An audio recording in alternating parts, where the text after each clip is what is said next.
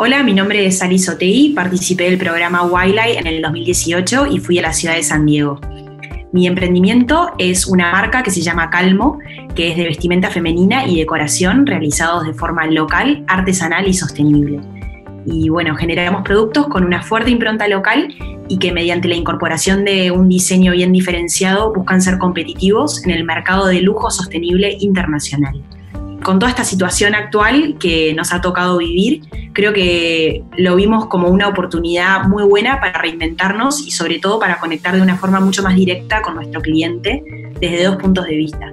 Por un lado, reforzando lo que es la venta directa, ya que los puntos de venta tercerizados eh, cerraron momentáneamente y recién están comenzando a abrir algunos. Entonces, para, por un lado, para poder reforzar esa venta directa. Eh, por ejemplo, eh, desarrollamos una gift card, eh, hicimos un catálogo que nos, nos resultó muy práctico y que no lo teníamos. Y también estamos avanzando mucho con la tienda directamente desde nuestra web, que en breves la vamos a lanzar. Por otro lado, también hizo que, nos que reenfocáramos la comunicación de nuestra marca hacia un lugar mucho más empático, más allá de que ya veníamos comunicando, como marca siempre comunicamos desde el lugar de contar la historia que hay atrás del producto, Em, y bueno, conectar a un nivel más profundo con, nuestros clientes.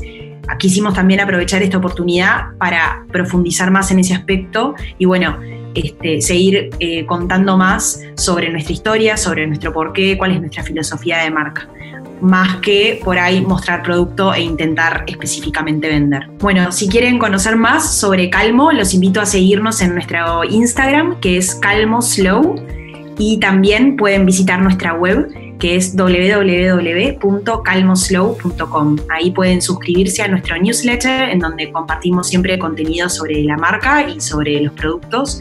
Y bueno, también pueden ver más sobre nuestra filosofía, nuestro manifiesto, todos los eh, enfoques sostenibles o sustainable approaches, como les decimos, para que vean cómo hacemos lo que hacemos y por qué. Muchas gracias.